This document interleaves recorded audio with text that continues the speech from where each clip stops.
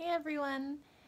So it's been two days since my harmonica lesson and I have learned a lot of things by trial and error.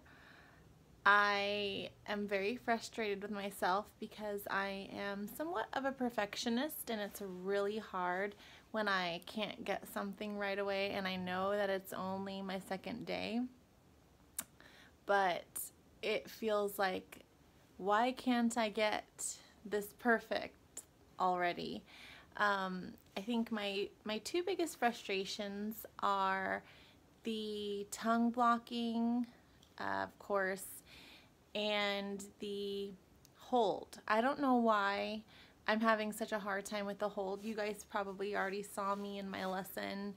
I was holding it like winged out and I'm having a really hard time not doing that. So I have been practicing and not doing very well and kind of just holding it like this just so I can find single notes. Um, and I feel like now I've been able to find some of the single notes. I'm still not perfect obviously, but um, the good thing is that at least I'm making progress there, so I have started to try to hold. So um, one thing that I find useful is how in the lesson Dave was saying to go like this. Um, that's been helpful.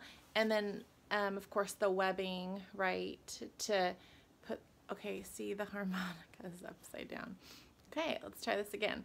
Uh, the webbing here and then not closing like this, but like closing kind of more like this. Um, and then of course remembering to put uh, these fingers down. And then I'm working on the cup. So let's see.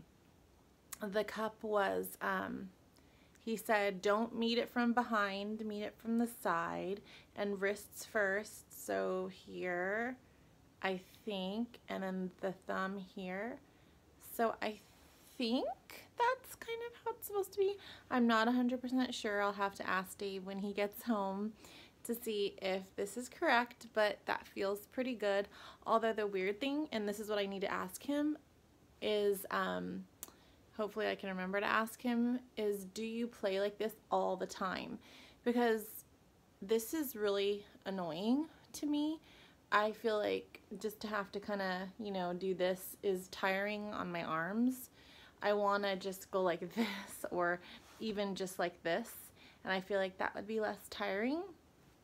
So I want to ask him like is the cupping only for when you're trying to get like that cheek technique, the wah wah or or you know when you're starting to bend? Or is that something you're supposed to be doing every time you play? So that's one of the things I need to ask him. Um, so anyway again the the holding is not very natural. I can kind of do it but it's just not like Ooh, here, perfect, you know. Um, the other thing that I'm running into is remembering everything about tongue blocking. It's like there's so much involved in just finding a single note. So one good thing, um, I'm probably not going to be able to do it here, I'll try, is that I've been trying to find a single note just by putting it up to my mouth. I do kind of look at it really quickly and then I try it. And then um, if if I can't find it right away, I will continue to blow instead of like picking up my mouth and like trying to trying to find it, which is what I was doing the first day. I, I'd go like this. Wait, okay, of course that happened to be a single note. Let me try this again. I'd go, nope, there was another single note. Okay, this video is not, not good. All right, let's try this again. There. Okay, so like that sound, I would be making that sound and then not finding the single note right away and then I'd be like picking up my mouth to try to find it. So instead now I'm continuing the one blow and then just sliding around and, and fixing my tongue um, until I actually find it. So that's been helpful. Um, another thing that I'm remembering is 11 o'clock tongue, not the tip of the tongue and the tilt up it has been really helpful too. Obviously I'm nowhere close to being perfect at, at tongue blocking. Um, those two little things that I happen to do right away were just kind of dumb luck but um, a lot of times it's, it's kind of hit or miss if I do it correctly or not the first time. So that's going to be what I'm working on, and of course, starting to find my first uh, study song. So, thanks for listening, and I hope you guys are enjoying your harmonica journey too, for what it's worth. Obviously, it's only the first day.